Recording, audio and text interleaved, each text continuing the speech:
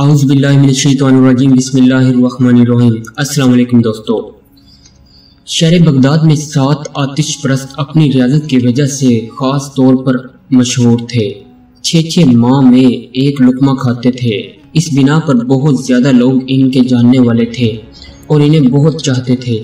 ایک دن ساتوں حضرت خواجہ غریب نواز، معین الدین چشتی، اجمیری رحمۃ اللہ علیہ سے ملاقات کے لیے آئے۔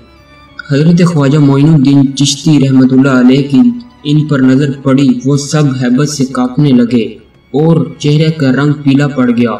وہ حضرت خواجہ معین الدین چشتی اجمیری رحمۃ اللہ علیہ کے قدموں پر گر پڑے۔ حضرت خواجہ رحمۃ اللہ علیہ نے ان سے فرمایا، بے دینوں اللہ سے تمہیں شرم نہیں آتی، اس کو چھوڑ کر دوسری شے کو پوجتے ہو۔ ان لوگوں نے کہا اے خواجہ، ہم لوگ ڈر کر آگ کو پوچھتے ہیں کہ شاید یہ کل ہم کو نہ جلائے۔ حضرت خواجہ رحمۃ اللہ علیہ نے فرمایا، اہم کو، جب تک اللہ کی پرستش نہ کرو گے، آگ سے چھٹکارا نہیں پا سکتے۔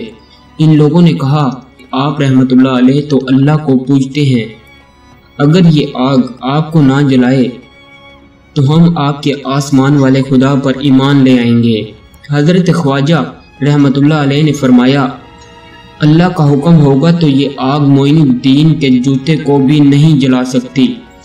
آگ وہاں پر موجود تھی۔ آپ رحمت اللہ علیہ نے اسی وقت اس میں اپنے جوتے ڈال دیے اور فرمایا، اے آگ معین الدین کے جوتے کی حفاظت کرنا۔ اسی وقت آگ ٹھنڈی ہو گئی اور غیب سے آواز آئی، جس کو سب حاضرین نے سنا کہ آگ کی کیا مجال۔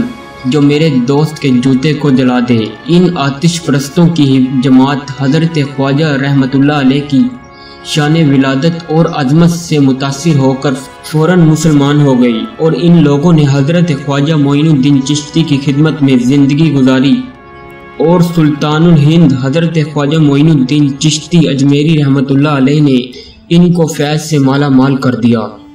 دوستو، آپ سے گزارش ہے کہ اس چینل کو سبسکرائب کیجیے، ویڈیو کو لائک کیجیے۔ اللہ حافظ۔